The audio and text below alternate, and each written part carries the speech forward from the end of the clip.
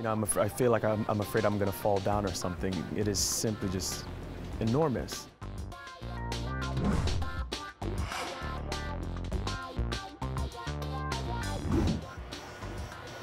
If you're afraid of heights, the VAB may not be the best place for you to work.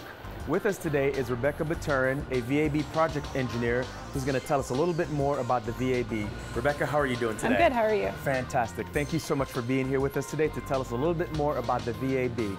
So this building was built in 1965 to support the Apollo program. Since then, we've had the Apollo shuttle and now the SLS program here inside the building. And we're in the process of modernizing High Bay 3 to support the SLS program.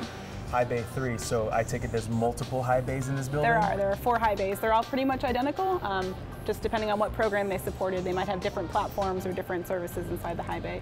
So this building, the people that designed it back in the 60s had amazing forethought to design a building like this that we can use long into the future. So if you go up on the roof, actually, these steel columns you see, they're not capped off. So we could theoretically make these high bays taller if we so wished. Um, the foundation is poured out beyond the north side of the building, so we could build two additional high bays if we wanted to. So we definitely have lots of options here within the VAB. I don't think I can imagine this building being any taller. Right now, 350 feet is already high for me. So this is a big building. The transfer aisle itself is large. How do you get the pieces of the rocket from one section to the other? So we have five cranes inside this building. One runs along the transfer aisle at the 16th floor level. That's our 175 ton crane. Then we have two cranes that run in each set of high bays. So in this high bay, you can see the 250 ton crane and then the 325 ton crane above us. 325 tons, so can that crane pick up the shuttle It by can. itself? So for the shuttle operations, it came in horizontally. So we'd actually use two cranes to transit it to vertical and then lift it up and over into the high bay.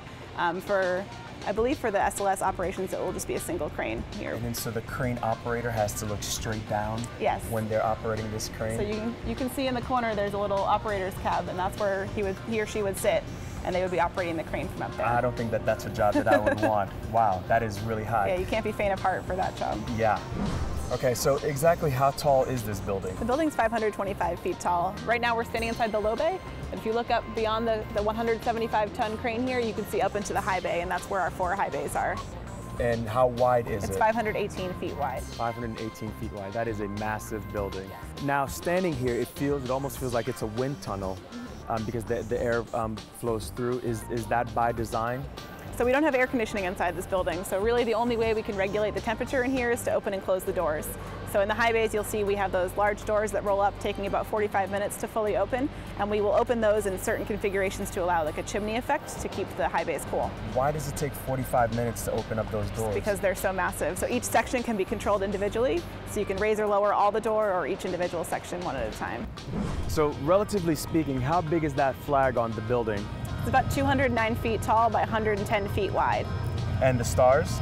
The stars are six feet across and nine feet wide. And right now we're standing on a mock-up of what pieces of the flag look like. So if you look down, you can see the size of the stars and the size of the stripes, and you could probably drive a truck through the size of the stripes that are on the side of the building. Wow. And from down here, it doesn't look like it's that, that it, large. it certainly does not look like it. Well, Rebecca, thank you so much for being out here with us and telling us a little bit more about the VAB. We definitely appreciate all the great work that you and your team are doing. Once again, I'm Yves Lamoth, checking in at Kennedy Space Center, our multi-user spaceport.